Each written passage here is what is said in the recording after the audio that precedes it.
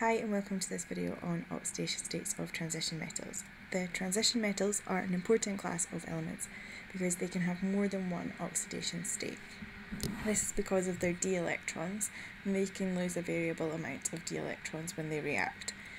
Because they can form different oxidation states, this means they can have different numbers of ligands attached and they can have different colours. When we're calculating the oxidation state of a transition metal, there are a few rules that we need to follow. So the oxidation number of elements that are uncharged is always zero. The oxidation number for monatomic ions is the same as their charge. So for oxygen, it's 2 minus, for hydrogen, it's plus 1, for fluorine, it's minus 1, and so on. The sum of all oxidation numbers of all the atoms that are present has to be zero. Uh, however, if you're dealing with a polyatomic ion, it must add up to the overall charge.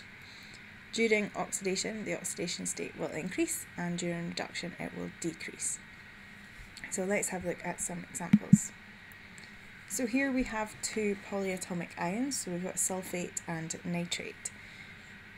To work out the oxidation state, we need to write out a small sum. So if we start with the overall charge, we have 2 minus and this is equal to whatever the oxidation state happens to be on sulfur plus 4 times the oxidation state of oxygen which is minus 2. So we have minus 2 equals sulfur plus minus 8. So if we take the minus 8 over to the side, we find that the oxidation state of sulfur is plus 6. So this is just a really a little bit of algebra. If we do the same for nitrogen and nitrate, we have minus 1 equals the oxidation state of nitrate plus 3 times the oxidation state of oxygen, which is minus 2.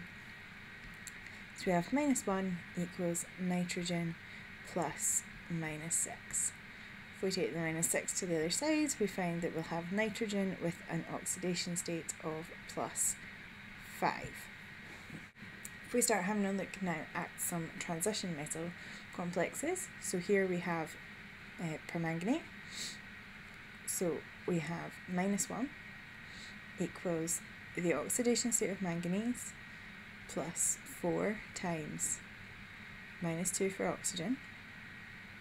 So we have minus 1 equals manganese minus 8. If we take the 8 to the other side, we get manganese in an oxidation state of plus 7, where it has lost all of its d electrons. Let's have a look now at cobalt in an amine complex. So we have plus 2 equal to whatever the oxidation state of cobalt is, plus 6 times the oxidation state of the amine ligand. So the amine ligand is neutral. It has an oxidation state 0. So cobalt is in a plus 2 oxidation state. We have a look at this complex here. We have no overall charge. We have two sodiums, that's plus 2, plus whatever the oxidation state on the cobalt is, plus 4 times a minus 1 ligand. So we have plus 2 plus the cobalt minus 4. So the cobalt is equal to an oxidation state of plus 2.